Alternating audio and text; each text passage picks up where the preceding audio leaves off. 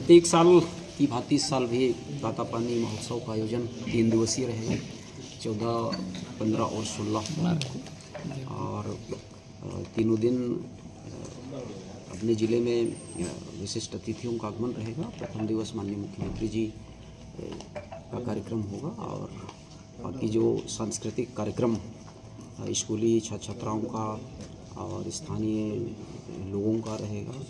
शाम होते तक, दोपहर से शाम तक और शाम को तीनों दिन के हिसाब से हम लोगों ने छत्तीसगढ़ी और बॉलीवुड और भोजपुरी के थीम पर जो है एक एक कलाकारों को और उसकी टीम को शामिल किया हुआ है। तो उसी के अनुसार ये कार्यक्रम तैयार कर लिया गया है। तातापानी महोत्सव को लेकर के पूरे कार्यक्रम स्थल, मेला स्थल और रोड की व्यवस्थाओं को लेकर के साथ ही साथ वीआईपी सुरक्षा को लेकर के पूरी योजना तैयार की गई है, जिसके तहत में मेला स्थल, कार्यक्रम स्थल और पार्किंग और साथ ही साथ रोड व्यवस्था पीआरटी की पर्याप्त व्यवस्था की गई है और लगभग एक हज़ार के आसपास जवान तैनात किए गए हैं, जो दो शिफ्ट में लगातार तीन दिनों तक वहाँ अपनी ड्यूटी निर्वहन करेंगे।